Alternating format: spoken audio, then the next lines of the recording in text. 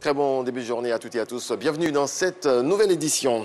Le président turc Recep Tayyip Erdogan affiche sa volonté de renforcer euh, son partenariat avec les pays africains. Le troisième sommet Turquie-Afrique s'achève. La délégation ivoirienne conduite par la ministre Kandia Kamara à ses travaux a rencontré la communauté ivoirienne en Turquie. Michel Digri. Dix chefs d'État et 102 ministres ont préparé à ce sommet qui resserre davantage les liens entre la Turquie et l'Afrique. Le président Recep Tayyip Erdogan est aux côtés des pays africains pour défendre leurs intérêts. C'est une grande injustice que le continent africain, avec sa population de 1,3 milliard d'habitants, ne soit pas représenté au Conseil de sécurité de l'ONU. Les développements de ces dernières années nous montrent à tous que permettre aux cinq pays membres de l'ONU de désigner le destin du monde entier était une erreur. Autre sujet abordé au cours du sommet, les relations commerciales entre la Turquie et l'Afrique.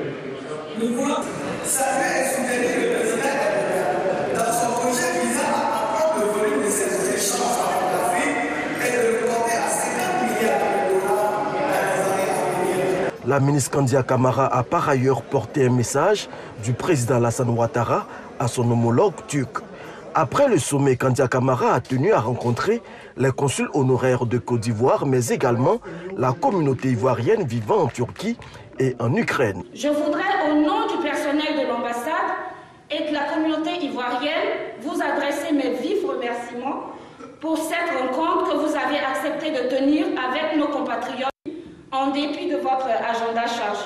Les ministres Kobenon Kwasi Adjoumani et Pierre Demba ont présenté quelques acquis de ce sommet. Nous avons pu travailler avec mon homologue euh, turc pour voir comment euh, on peut avoir l'assistance nécessaire pour aller très vite, pour profiter donc, euh, de leur vécu et ne pas faire les mêmes erreurs qu'eux, pour la conception, l'organisation et la mise en place d'un système de santé publique qui touche toutes les couches de la population.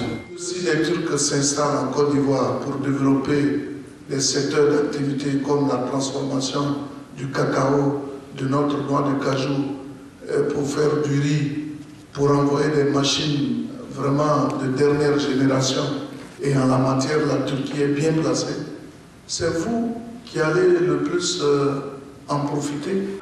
Et la ministre Kandia Kamara d'enfoncer le clou. Vous avez entendu le président plusieurs fois dire c'est vrai, il y a un ministère de la diaspora, mais c'est pour préparer le retour de nos frères et sœurs de la diaspora.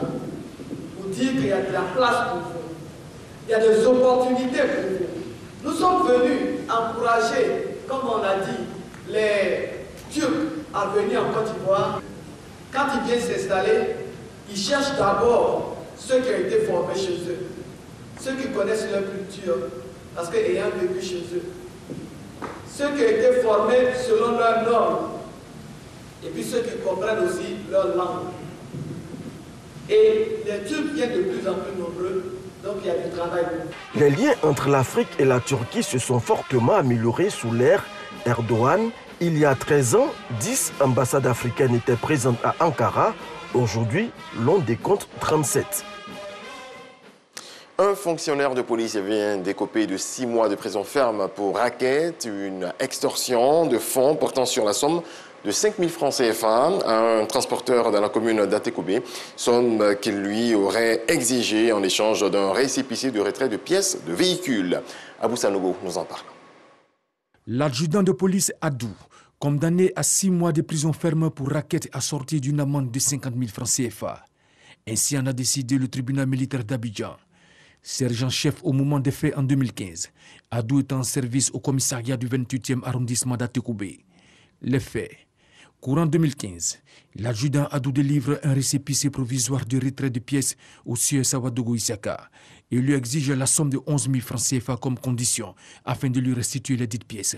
Sawadogo Isaka se rend donc au commissariat du 28e arrondissement pour payer et récupérer les pièces de son véhicule. Finalement, au lieu de 11 000 francs, c'est la somme de 5 000 francs que Adou accepte et lui restitue les pièces sans délivrer de reçu au contrevenant. Il va toutefois lui réclamer le récépissé de retrait de pièces. Trouvant cette attitude suspecte, Savadogo Isaka saisit l'unité de lutte contre les raquettes, qui à son tour rend compte au commissaire du gouvernement, le contre-amiral Ange Kessi Kwame.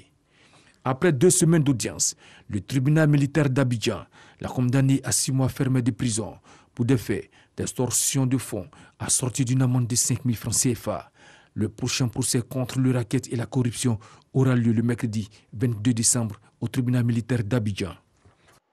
Et puis dans le reste de l'actualité, un milliardaire japonais euh, Yusaku Maizawa, 46 ans, poids lourd de la mode en ligne, euh, accompagné de son assistant et d'un cosmonaute russe, sont atterris après avoir passé 12 jours à bord de la Station spatiale internationale où ils ont réalisé des vidéos sur la vie quotidienne dans l'espace. On peut y voir l'homme expliquer en détail à son million d'abonnés comment se brosser les dents, dormir euh, en apaisanteur ou encore aller aux toilettes. Ce voyage marque le retour de la Russie dans le tourisme spatial après un hiatus euh, d'une décennie.